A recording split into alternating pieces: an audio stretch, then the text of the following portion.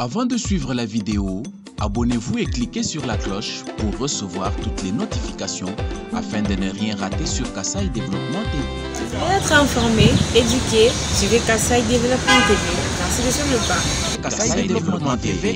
Kassai Développement TV pour une éducation citoyenne responsable. Kassai Développement TV. Je jure fidélité au président de la République, obéissance à la Constitution et aux lois de la République démocratique du Congo, de remplir fidèlement les fonctions qui me sont confiées et d'en rendre loyalement compte à l'officier du ministère public. La direction provinciale de la DGRAD a désormais un instrument supplémentaire en sa possession pour contribuer à la maximisation des recettes dans la province du Kasaï oriental. Il s'agit de 18 OPJ à compétences restreintes formés dernièrement qui ont prêté serment et sont dès lors habilités à poser des actes en cette qualité. C'est la salle VIP de l'hôtel Métropole du Kasaï qui a abrité cette cérémonie présidée par le procureur de la République près le parquet de grande instance de Mbujimaï samedi 9 septembre 2023. Après le mot de circonstances du directeur provincial de la DGRA d'Ex-Kassai Oriental, Mémorable, on sait que,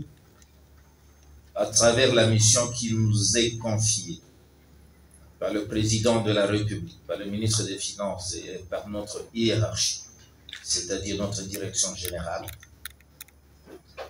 il nous manquait un outil pour pouvoir amener à bien notre mission, la mission de mobilisation de recettes.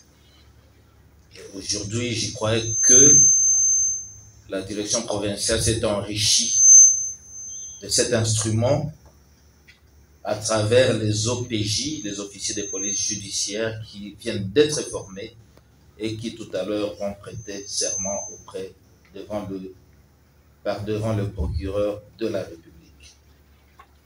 Alors ce n'est pas le temps de discours, c'est un petit conseil, un petit mot pour les récipiendaires, ceux qui ont eu à faire cette formation, et je dirais même ceux qui ont la chance de le faire, parce que on n'a pas été privilégié pour le faire. Et pour ceux qui n'ont pas eu cette occasion-là, la porte est encore ouverte. Une autre vague suivra. C'est aussi une occasion de remercier d'ailleurs la direction générale qui me facilite la tâche en termes de formation. Parce que si les gens ne sont pas formés, si les gens ne sont pas euh, en mesure de maîtriser les textes qui le régissent, on ne peut pas produire un travail de qualité. Et là, nous venons d'avoir un plus.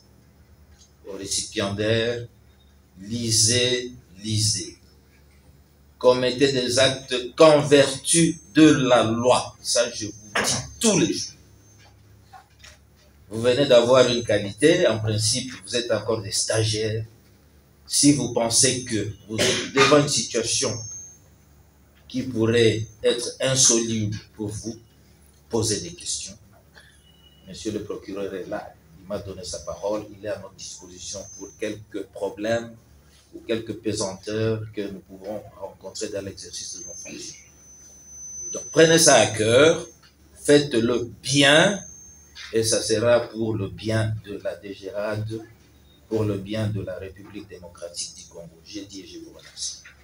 le procureur de la République est intervenu pour circonscrire le cadre de cette cérémonie. trouve les fondements dans la loi. Et cette loi, c'est l'ordonnance numéro 78 traité 189 3 juillet 1978 relative à l'exercice des attributions des officiers et agents de police.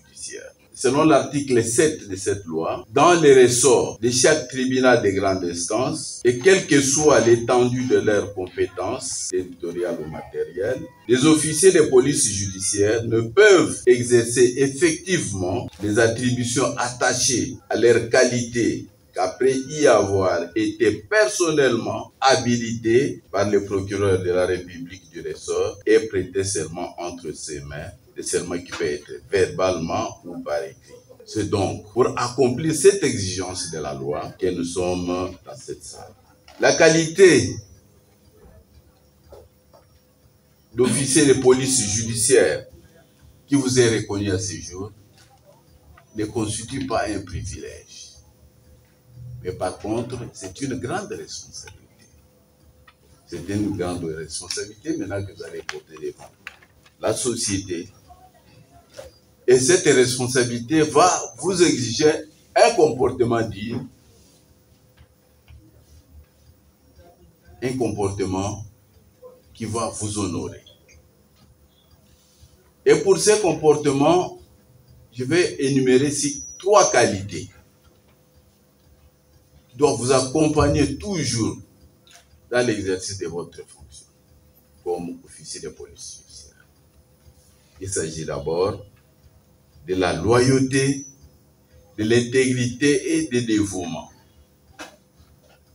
Comme OPJ, vous devez être loyal. Loyal, c'est-à-dire, vous devez être fidèle à votre engagement, fidèle à vos paroles, fidèle à votre serment. Et ne faire que ce que recommande votre serment, ce que vous allez déclarer aujourd'hui. Et vous devez faire l'honneur de votre fonction comme au PJ. Et vous allez constater peut-être au début, vous n'étiez pas critiqué. Maintenant, le jeu de tout le monde sera braqué sur vous, sur ce que vous allez faire comme travail. Vous devez être intègre, l'intégrité. C'est l'une des qualités qui est également exigée pour les OPJ. Vous devez être personnel, une personne intègre une personne d'une moralité avérée, une personne rigoureuse, droit dans ce qu'il dit, droit dans ce qu'il fait. Exemple de toute option de la magouille ou de la corruption qui gangrène notre société. Et vous, vous devez être au-dessus et enfin, en tant qu'OPJ, dans tout ce que vous allez faire comme fonction, dans tout ce que vous allez poser comme acte, vous devez avoir cette qualité de dévouement. Cette qualité qui est aussi recherchée. L'esprit d'abnégation, l'esprit de sacrifice, avec les difficultés qui traversent les pays, les soucis que nous puissions tous remonter, cette situation, mais il faut consentir les sacrifices. Ne soyez pas trop exigeants.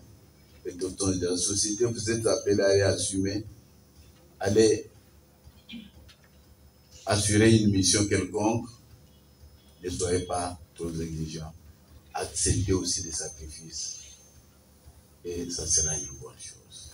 Pour sa part, Madame Fidel Ndobo Lokaja, secrétaire divisionnaire au parquet de grande instance de Mbujimaï, a procédé à l'appel des récipiendaires afin de prêter leur serment en quatre temps et selon les grades et fonctions. Je jure fidélité au président de la République. Obéissance à la Constitution et aux lois de la République démocratique du Congo. De remplir fidèlement les fonctions qui me sont confiées et d'en rendre loyalement compte à l'officier du ministère public.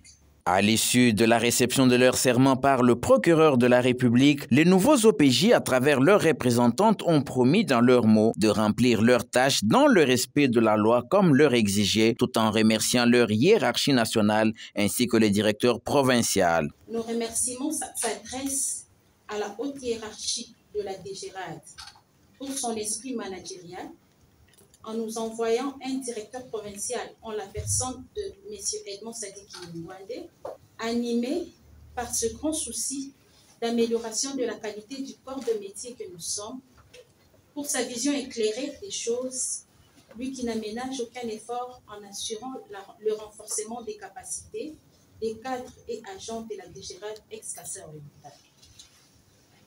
À nos formateurs, je cite, Monsieur le procureur de la République le parquet de grande instance de Bougimaï, ainsi que Monsieur le Président du tribunal pour enfants, nous tenons à leur dire un grand merci pour avoir ajouté un plus à notre formation. Aux lauréats, vous, vous venez d'être outillés avec des techniques susceptibles non seulement d'élargir notre assiette fiscale, mais aussi de permettre la mobilisation accrue des recettes dont le gouvernement a besoin pour les moyens de sa politique. Pour ce faire, dans notre mission actuelle qui consiste à constater l'infraction, rechercher les moyens de preuve et identifier leurs auteurs, nous nous invitons à mieux rédiger les procès-verbaux afin qu'ils ne soient pas frappés des nullités faites aux conséquences multiples. Nous nous engageons à travailler avec détermination et abnégation pour le bien-être du trésor public. Se livrant à la presse, le directeur provincial Edmond Sadik Mungwande a dit toute sa joie de voir la DGRAD Kassai Oriental avoir pour la toute première fois ses propres OPJ. Il a promis de poursuivre la même démarche à Lomami et au Sankourou, deux provinces issues du découpage et qui restent sous son autorité. Je suis un homme heureux la que le gouvernement m'a donnée et ma haute direction, recettes, les de donner un chef de l'État les de politique. Et après analyse, j'ai constaté qu'il manquait un élément qui est un outil de travail. C'est d'avoir des officiers de police judiciaire. Ces gens-là, dans le processus de recouvrement des droits dus au trésor public, ils sont importants. Tout simplement parce que nous sommes dans un environnement où soit il y a des gens qui ne connaissent pas le droit, soit il y a des gens qui volontairement l'enfreignent. Donc, avec des OPJ. Et puis 18, c'est quand même beaucoup. Donc, je suis là très sûr que ça va vraiment contribuer à la mobilisation des ressources. Il y a ce qu'on appelle la compétence territoriale. Donc, nous avons prêté serment auprès du procureur de la République, circonscription Kassai oriental. Or, dans ma mission, j'ai également le Sankourou et le, l'Alomami. Donc, ce que je viens de faire ici à Moujimaï, je vais continuer à le faire également. Je vais poursuivre plutôt dans la province de Sankourou et celle de l'Alomami. Il a pas de magie. Je crois que chacun a sa manière de faire, chacun a sa vision. Moi, dans ma vision, la première des choses, c'est les ressources humaines. Sur les secteurs dans la gestion pour un manager, pour moi, il faut savoir traiter la formation, le renforcement des capacités, ça en fait partie. Chacun a sa manière de voir les choses. Moi, un agent, un inspecteur qui est sur le terrain, qui ne peut pas agir parce qu'il n'est pas revêtu de la qualité d'OPJ, c'est un handicap pour moi. Donc, après avoir analysé, après avoir constaté, je me suis dit, il faudrait qu'on fasse un pas en plus pour pouvoir donner à la DGRAD des officiers de police judiciaire pour qu'ils puissent agir sur le terrain. Ce n'est pas de la magie, ce n'est que de la volonté. Je demande à la population du Kansai oriental de la Lomami et de Sankourou, de s'imprégner du civisme fiscal. C'est aussi un point que je déplore un peu, mais ce sont des habitudes qui se sont ancrées.